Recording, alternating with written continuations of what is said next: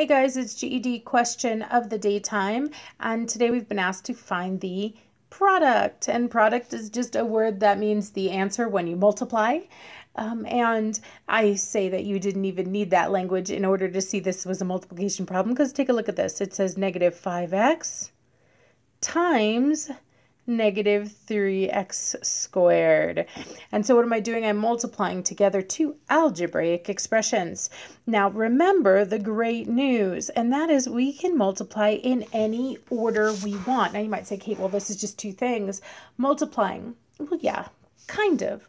Uh, negative 5x is one big ugly algebraic expression, and negative 3x squared is also one big ugly algebraic expression.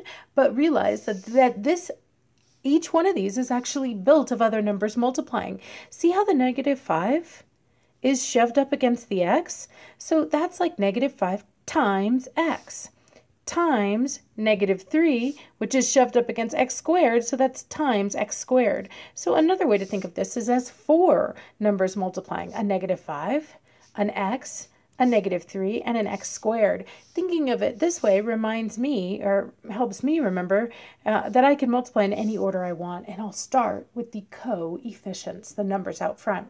So first I'll do negative 5 times negative 3, and I can do this in my head. I know it's positive 15, but if you had this problem on the GED, you would have a calculator. So even if you can't multiply negatives by hand, you could type that into your calculator, negative 5 times negative 3 and it would tell you that it's positive 15.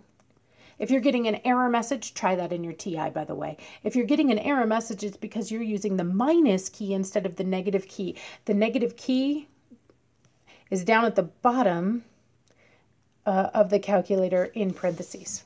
Okay, so Negative 5 times negative 3 is 15. So now all I have to multiply together are these x's.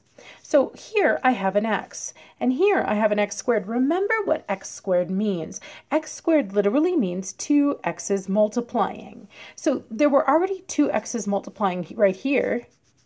And now here's another x multiplying. That will give me a total of three x's multiplying. So x to the third power.